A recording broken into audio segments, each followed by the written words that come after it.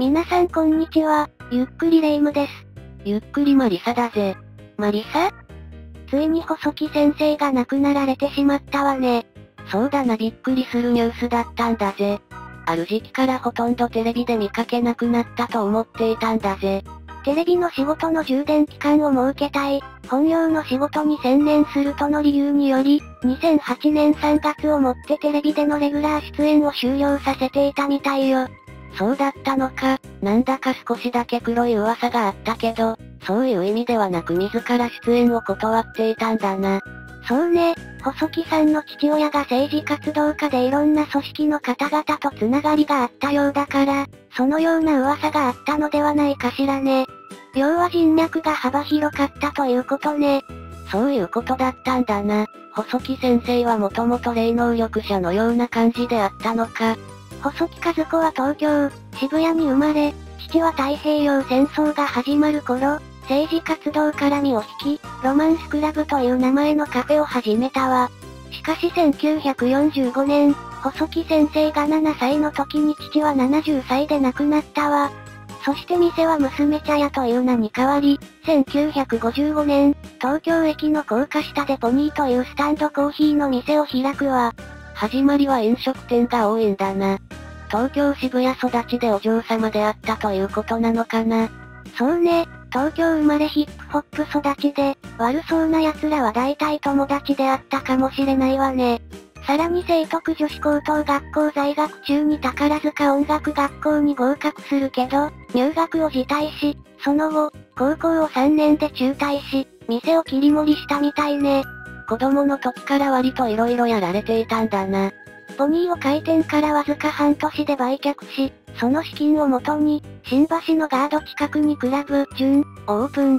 翌年には売却し1958年には、銀座にカズサ、オープン。二十歳で銀座にクラブを開くなど、若い頃から様々な飲食店の仕事を行ってきたわ。なかなか普通の人が歩めないような道のりだな。やはりこの経歴を見るともともとお金持ちの家柄であったようだな。ところで六星戦術はいつから始めるんだ1982年に、独自の研究で編み出したとされる六星戦術の本を出版。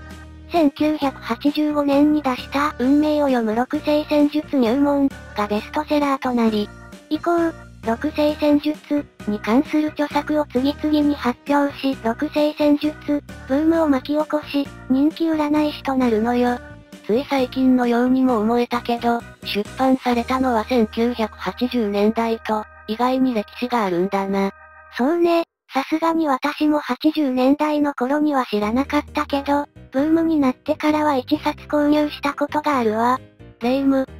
占いとか信じていたんだな。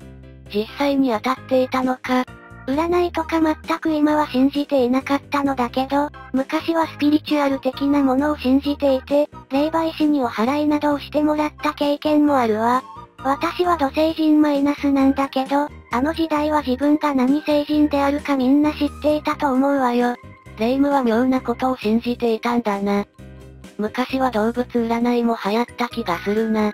今はそういう占いや霊能力、超能力の類はほとんど見なくなってしまったな。確かにそうね。2005年から2009年ぐらいにかけて放送されたオーラの泉がオカルト、スピリチュアル的な番組としては最後ぐらいではないかしらね。オーラの泉なんて番組もあったな。三輪明宏と江原博之な。なかなか面白い番組だったな。今、そういう系の番組で言うとやりすぎ都市伝説が特番で放送されるぐらいではないか。でもこれも少し、霊能力や超能力とは趣旨が違うけどな。そもそも超能力、霊能力、超常現象、心霊、怪奇現象、未確認飛行物体、未確認生命体など、超自然的現象を企画の中心とする番組は昔は大人気であったわ。確かに昭和の頃は、そういうものがブームであったということはよく聞くな。人気も下火になっていったということか。もちろんそれもあるわね。70年代に入ってオカルトがブームとなり、74年はスプーン曲げのユリ・ゲラーに端を発する超能力がブームとなり、80年代から90年代にかけて日本中を騒がせたノストラダムスの大予言、霊能力者、義母愛子などが有名であるわね。義母愛子さんについては以前の動画にもあります。概要欄に貼っておきますのでよかったら見てください。そして衰退した要因として一般的によく言われるのが、某宗教団体による一連の事件報道の影響ね。つまり、オカルト番組が若者に対して、超能力などへの関心を煽り、あのような教団を生んだ要因になったのではないかという批判によって、オカルト番組が減少したのよ。そういう影響があったんだな。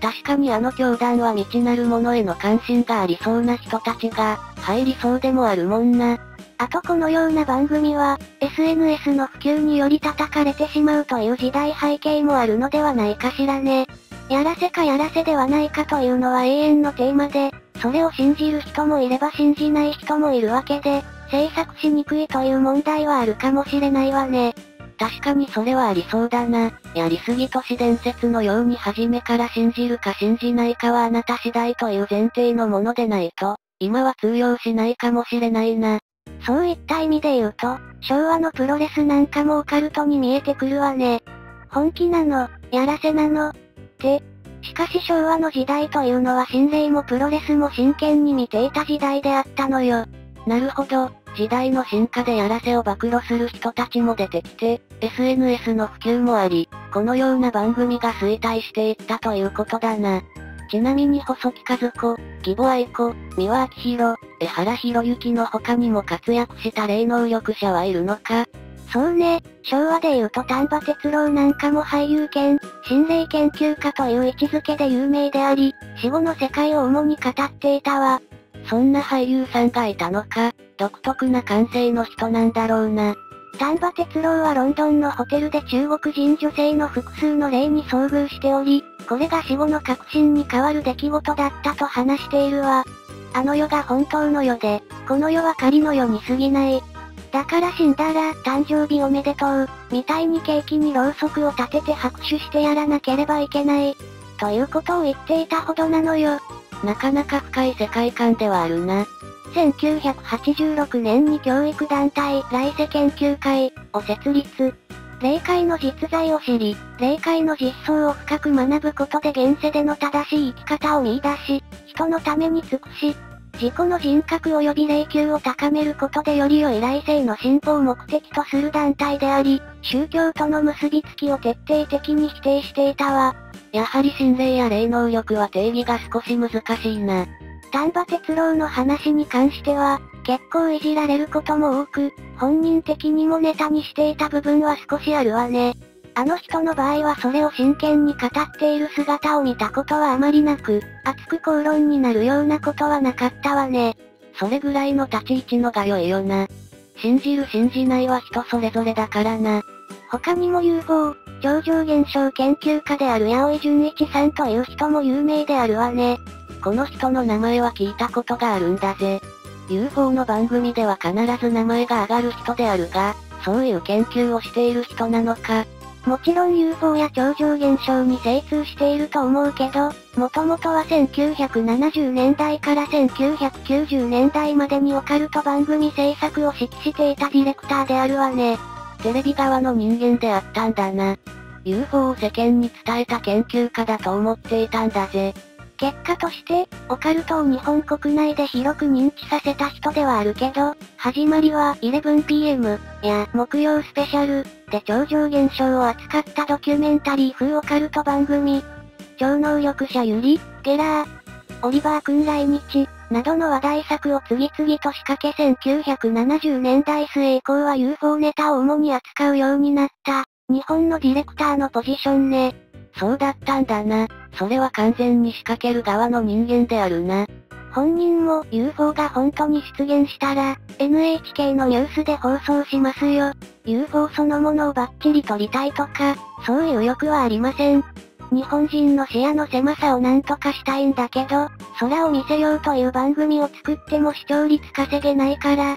UFO や超能力がインチキであるとかないとかいうことは、何ら意味がないんだよね、などと明言しているわ。なるほど UFO を本気で信じてきた人にとっては何とも言えない発言だな。あとこの他には、これは昭和ではなく平成初期になるのだけど、霊能力者の有名人としては織田無道がいるわね。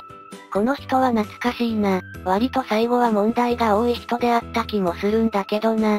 そうね、2002年に、宗教法人の乗っ取りを図り虚偽の登記を行ったとして、公正証書原本不実記載、同行使の容疑で逮捕され、織田無道は無実を主張したけど、懲役2年6ヶ月、執行猶予4年の有罪判決を受け、さらには2007年、格闘技イベントの開催トラブルを起こしたり、2009年、石川県加賀市佐久見町の法政寺の住職に就任するも、従業員と給与未払いなどのトラブルを起こしたと報じられていたわね。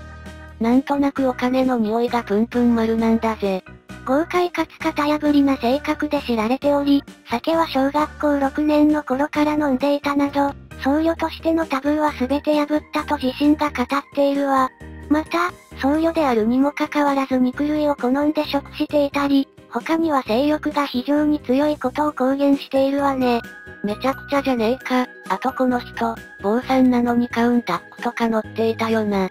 そうね、カーマニアとしてもかなり有名な人であったわね。ただこの人を一躍有名にさせたのは1990年代に放送されていた、トンネルズの生でダラダラ行かせてではないかしらね。通称、生ダラだな。実はこの生ダラには、某教団の孫子も出演したことあるんだけどね。昔のトンネルズの番組はやはり過激だよな。織田無道の出演時には心霊写真のコーナーがあって、写真が必要ない方は燃やしてよく塩で揉んでくださいと言っていたのを覚えているわ。あとは除霊の最後に円光寺と言って大声を張り上げていたわね。実際にあれはどうなんだ？本当に除霊ができているのかな？マリサ？真実を求めようとすると全てがつまらなくなってしまうものよ。このようなオカルト番組が衰退したのは某宗教団体の影響もあるのだけど、視聴者がやらせを絶対に許せなくなっているとか、曖昧な感じを嫌う傾向が強いわね。そりゃあだって真実を知りたいし、やらせはやめてほしいんだぜ。そうかしらね。そうだろ。その曖昧な感じとかグレーな感じが良いのではないかしらね。夢があって面白いじゃない。昭和はそういうものも含めてテレビを見ている人は多かったわ。確かに今は情報が多すぎるんだぜ。